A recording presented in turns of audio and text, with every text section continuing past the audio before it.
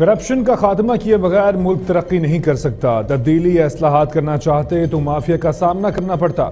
حکومت پر تنقید کرنے والوں کو ڈر ہے، حکومت رہی تو جیلوں میں جائیں گے۔ دو پارٹیوں نے ملک مقروض کیا۔ اگلا سال ترقی کا سال ہے۔ جو مافیا کرٹ نظام سے فائدہ اٹھا رہا ہے، ان کے لیے دو ہزار بیس مشکل سال ہوگا۔ وزیر اعظم کا قوم سے نیا وعدہ۔ بھارت کو خبردار کر دیا۔ بولے مودی نے بیس کروڑ مسلمانوں کے خلاف واردات کی۔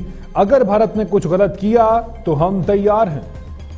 اب یہ جو نریندر موڈی کی آر ایس ایس کی حکومت ہے، یہ کشمیر کے اوپر سے نظر اٹھانے کے لیے اور یہ جو دوسرا اس نے مسلمانوں کے اوپر واردات کی ہے، ہندوستان کے اندر، بیس کروڑ مسلمانوں کے اوپر جو اس نے دو قانون لے کے آیا ہے، ان کی وجہ سے جو آج ہندوستان میں مظاہرے ہو رہے ہیں، ان دونوں کے سے دنیا کی نظر اٹھانے کے لیے یہ کشمیر کے اوپر ضرور کچھ کرے گا۔ آزاد کشمیر پہ ضرور کوئی واردات کرے گا۔ جنرل باجوہ کو میں آگاہ کر چکا ہوں اور انہوں نے مجھے بار بار کہا کہ وہ تیار ہیں ان کے لیے۔ پاکستان تیار ہے ان کے لیے۔ دو ہزار بیس وہ سال ہوگا، ترقی کرے گا۔ سیاستدانوں کا مافیا جو سارے شور مچاتے ہیں کہ ملک تباہ ہو گیا۔ مارے گئے ہر روز ہر روز حکومت کو برا بھلا کہتے ہیں۔ کیونکہ ان کو یہ نہیں خوف، ان کو یہ خوف نہیں کہ پاکستان غلط راستے پہ جا رہا ہے۔ ان کو ڈر یہ ہے کہ اگر یہ حکومت کامیاب ہو گئی تو یہ جیلوں میں جائیں گے۔ تبدیلی آتی جا رہی ہے، اصلاحات آتی جا رہی ہے ان کے روزی بند ہو رہی ہے۔ دو ہزار بیس میں پھر سے کہتا ہوں، ایک اس ملک کا اب آگے بڑھنے کا وقت ہے، ایک خوشحالی کا وقت ہے۔ جو مافیا، جو ایک پرانے کرپٹ نظام سے فائدہ اٹھا رہا تھا، ان کے لیے دو ہزار بیس، ان کے لیے اب مشکل سال آنے والا ہے۔